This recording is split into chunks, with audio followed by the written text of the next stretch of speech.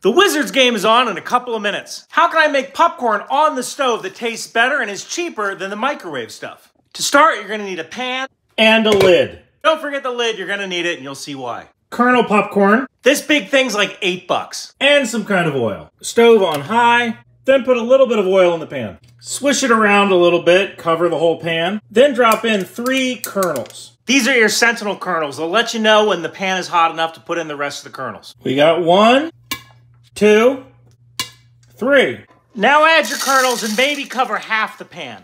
There we go. Put the lid back on and start shaking. Keep shaking as it pops. When it stops popping or it gets to the point where it looks like the lid's gonna come off, remove from the stove, turn off the burner, add to a bowl, add salt and butter if you want, and enjoy while watching the Wizards lose again. Jordan Poole, man.